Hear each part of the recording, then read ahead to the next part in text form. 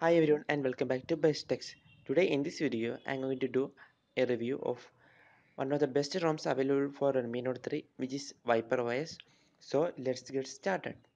So if you are a new person visiting our channel then make sure you go down below and hit the subscribe button and also enable notification for our videos by clicking the bell icon next to the subscribe button. Welcome back friends. Uh, this ROM is based on Android Nougat which is Uh, Android 7.1.2 and as you can see the ROM is pretty smooth and fluid. The saturation colors are also good.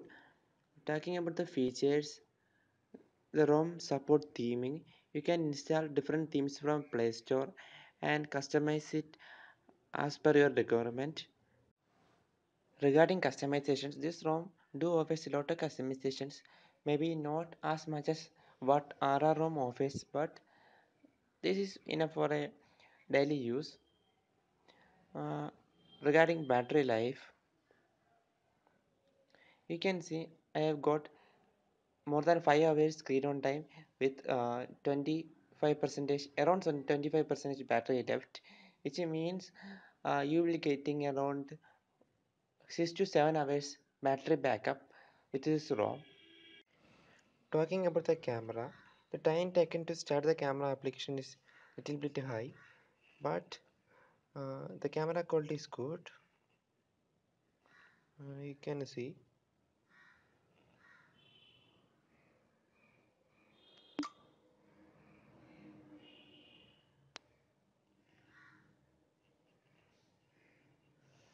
I have not faced any camera crash issues in this ROM.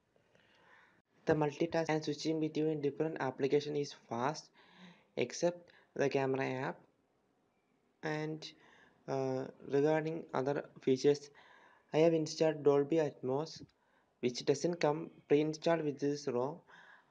I will make another video how to install Dolby Atmos on any Android device. Okay. Uh, next thing is Cortana.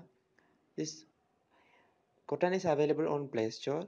This ROM does support fast charging, which means uh, charging time uh, to charge this phone is less.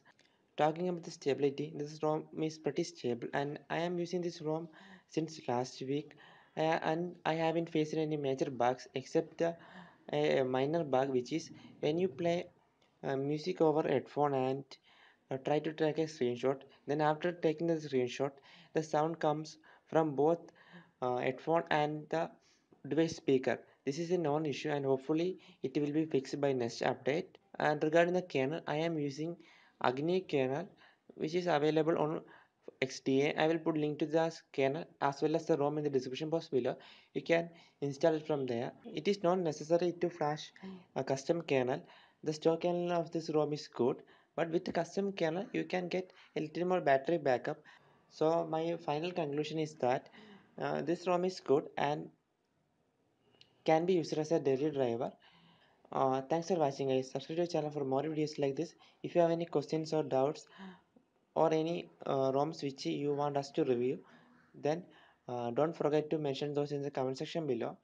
We always like to hear from you guys. See you soon